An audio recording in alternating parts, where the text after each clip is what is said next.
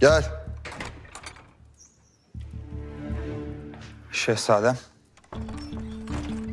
Gülbahar Sultanımız hakkında malumat vermemi istemiştiniz. Nedir vaziyet? Şehzadem nasıl desem bilemiyorum. Birileri sultanımızın yemeğine zehir koymuş.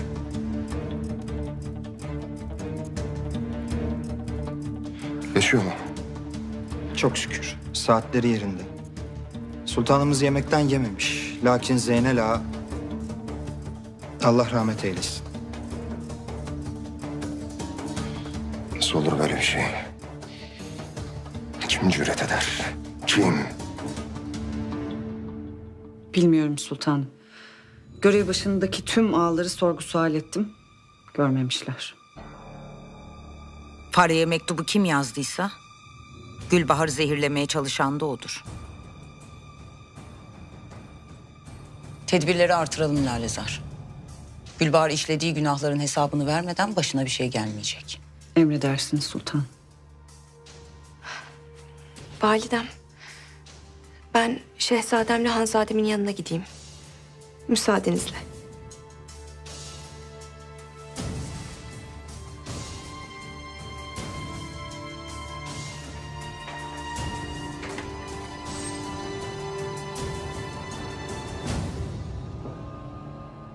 Hacı Ester'le ilgili bir gelişme var mı? Maalesef sultanım. Mehmet Paşa payitahtını altın üstüne getirdi. Fakat hala iz yok. Sultanım. Söylemeye dilim varmıyor. Öldürüp bir yere atmış olmasınlar. Allah korusun. Ne yalan söyleyeyim benim de gitgide ümidim azalıyor.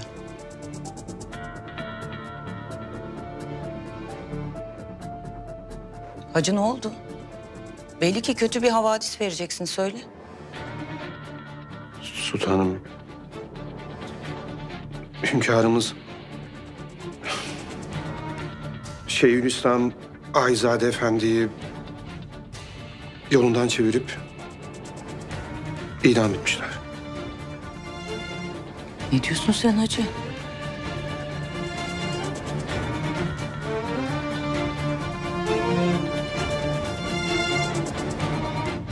Vakit vakte benzemiyor. Şeyhülislam'ın katledildiği nerede görülmüş? Olacak iş midir efendim? Sultan Murat büyük günaha girmiştir. Koskoca Şeyhülislam'a reva mıdır bu? Sadece Müftü Efendi değil. Ulemadan birçok zat idam edilmiş. Cümle aleme ibret olsun. Şeriat yolundan ayrılıp iktidar hevesine düşmenin neticesi budur işte. Sultan Murat nihayet hakikati görmeye başladı. Darısı devletin içine çöreklenmiş diğer hainlerin başına.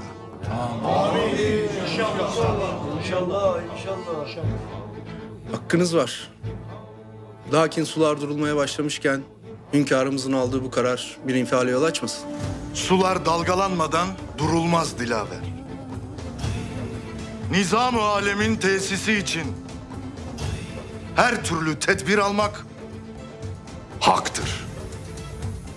Kansa kan, cansa can.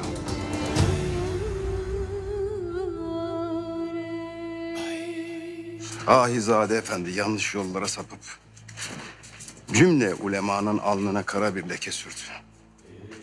Günah ne olursa olsun ömrünü hak yoluna adamış bir alimin canına kıymak örfümüzde yok. Hakkınız var efendim. Sultan Murat kaidelere karşı geliyor. O kaideler ki devleti ali'nin temelidir. Ve o temel yıkılırsa hepimiz altında kalırız.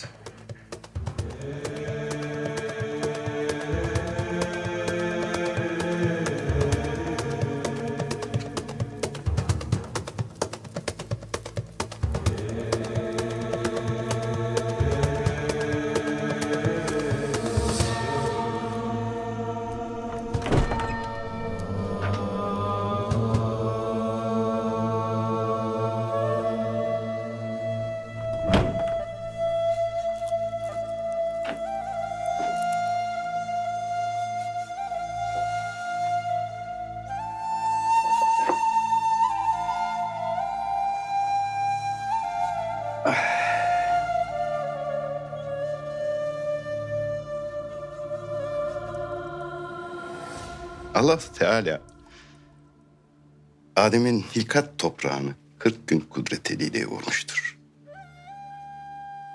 Her bir insan anne karnında 40 gün nutfe, 40 gün aleyka, 40 gün mutka halinde bulunur. Sonra ruh üflenir. Cismaniyetin ruhaniyete bağlanması kırka mahsus olduğu gibi ondan ayrılması da yine kırka mahsustur. Aynı sebepten insan ruhunun arınması için de 40 gün gerektir. Bugün senin 40. günün evlat. Bu mertebedeki son günü. Efendim. Benim için bir kurtuluş var mı? İnsanların en zayıfı nefsani arzularından el çekmede aciz kalandır. En güçlüsü de bu arzuları terk etmede kudreti yetendir. Zira nefsini yenen kurtulmuştur.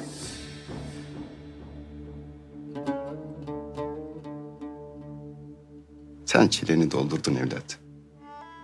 Yarın doğan gün senin miladın olacak.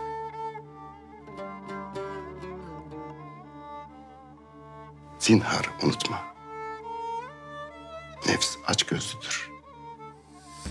Doydu sanırsın ama doymaz.